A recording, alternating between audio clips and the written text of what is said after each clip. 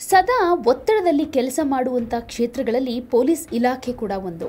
ಅದರಲ್ಲೂ ಪೊಲೀಸ್ ಇಲಾಖೆಯಲ್ಲಿರುವಂತಹ ಮಹಿಳಾ ಪೊಲೀಸರಿಗಂತೂ ತಮ್ಮ ಮನೆ ಹಾಗೂ ಇಲಾಖೆ ಜೊತೆಗೆ ಹೊಂದಾಣಿಕೆ ಮಾಡಿಕೊಂಡು ಕೆಲಸ ಮಾಡಬೇಕಾಗತ್ತೆ. ಹಾಗೆ ಮಹಿಳಾ ಪೊಲೀಸರಿಗೆ ಪುಟ್ಟ ಮಕ್ಕಳಿದ್ರು ಅವರನ್ನು ಬಿಟ್ಟು ಬಂದು ತಮ್ಮ ಕರ್ತವ್ಯ ನಿರ್ವಹಿಸಬೇಕು ಅಂದರೆ ನಿಜಕ್ಕೂ ಅದೊಂದು ದೊಡ್ಡ ಸವಾಲೇ ಹೌದು.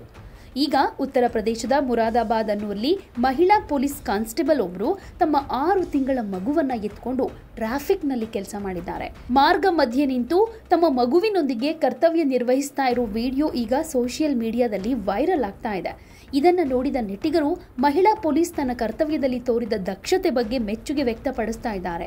ಹಾಗೆ ಇನ್ ಕೆಲವರು ಪೊಲೀಸ್ ಇಲಾಖೆಯ ವಿರುದ್ಧ ಆಕ್ರೋಶ ಹೊರಹಾಕ್ತಿದ್ದಾರೆ. ಈ ವಿಡಿಯೋ ಸೋಷಿಯಲ್ ಮೀಡಿಯಾದಲ್ಲಿ ವೈರಲ್ ಆಗ್ತಿದ್ದಂತೆ ಮುರಾದಾಬಾದ್ ಪೊಲೀಸ್ ಇಲಾಖೆ ಸ್ಪಷ್ಟನೆಯನ್ನ ಕೊಟ್ಟಿದೆ. ಮಹಿಳಾ ಪೊಲೀಸ್ ಕಾನ್ಸ್ಟೇಬಲ್ ಈಗಾಗಲೇ ಹತ್ತಿರದ ಠಾಣೆಗೆ ವರ್ಗಾವಣೆಯಾಗಿ ಹೋಗಿದ್ದಾರೆ. ಈ ನಡುವೆ ತಾತ್ಕಾಲಿಕವಾಗಿ ಮಹಿಳಾ ಕಾನ್ಸ್ಟೇಬಲ್ ಟ್ರಾಫಿಕ್ನಲ್ಲಿ ಕರ್ತವ್ಯ ನಿರ್ವಹಿಸಬೇಕಾಗಿ ಬಂದಿದೆ. ಈ ವೇಳೆ ಅವರು ಮಗುವನ್ನು ಕರೆದುಕೊಂಡು ಬಂದಿದ್ದಾರೆ. ಪ್ರಸ್ತುತ ಪೊಲೀಸ್ ಕಚೇರಿಯಲ್ಲೇ ಕೆಲಸ ಮಾಡ್ತಿದ್ದಾರೆ ಅಂತ ತಿಳಿಸಿದೆ. ಆದರೂ ಈ ಕೆಲಸ ಮಾಡೋ ಮಹಿಳೆಯರಿಗೆ ಎಷ್ಟೆಲ್ಲ ಪ್ರಾಬ್ಲಮ್ಸ್ ಇರುತ್ತೆ ಅಲ್ವಾ? ಒಂದು ಕಡೆ ಮನೆಯನ್ನು ನಿಭಾಯಿಸಬೇಕು ಆಫೀಸ್ ಕೆಲಸ ಮಾಡಬೇಕು ಮಕ್ಕಳಿದ್ರೆ ಅವ್ರನ್ನೂ ನೋಡ್ಕೊಳ್ಬೇಕು.